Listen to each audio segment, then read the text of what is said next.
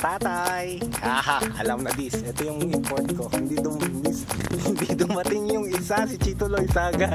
Si Donton ang palayo lang ang dumating. So, try namin beat yung mga sagwaderos mong team na yung time nyo. Sobrang hangin ngayon. Lugi kami.